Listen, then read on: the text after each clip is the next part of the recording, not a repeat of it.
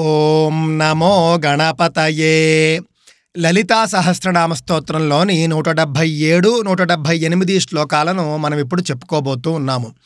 ఓం బంధూక కుసుమ ప్రఖ్యా బాలీలా వినోదిని సుమంగళీ సుఖకరీ సువేషాఢ్యా సువాసిని.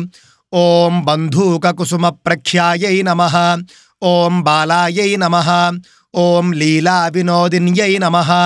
ఓం సుమంగళ్యై నమ. ఓం సుఖకర్యై నమ. ఓం సువేషాఢ్యాయై నమ. ఓం సువాసిన్యై నమ. ఉచ్చారణ చూసుకున్నట్టయితే బంధూక కుసుమప్రఖ్యా బాలా లీలా వినోదిని సుమంగళి సుమంగళి చెప్పచ్చు లేకపోతే సుమంగళి కూడా చెప్పవచ్చు.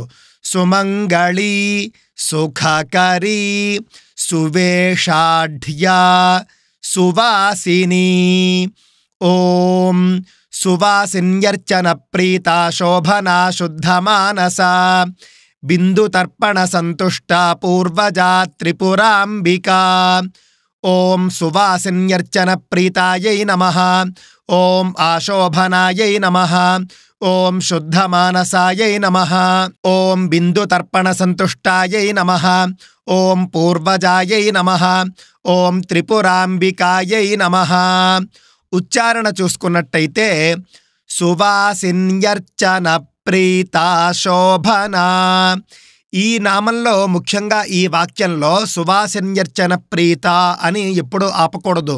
పూర్తి వాక్యమే చెప్పి ఆపాలి లేకపోతే సువాసన్యర్చన ప్రీత శోభన అని చెప్పి ఆపవలసి ఉంటుంది ఎందుకు అంటే ఇక్కడ శోభన అని నామం కాదు ఆశోభన అని నామం ఉంటుంది. అది సువాసిన్యర్చన ప్రీతాతో కలిపినప్పుడు మీకు ఆ అనేటటువంటి ఒక పదం అందులో అంతరంగంగా వచ్చేస్తుంది. కావున సువాసిన్యర్చన ప్రీతా శోభన శుద్ధమానస బిందుతర్పణ సంతుష్ట పూర్వజ త్రిపురాంబిక అని ఉచ్చరించవలసి ఉంటుంది.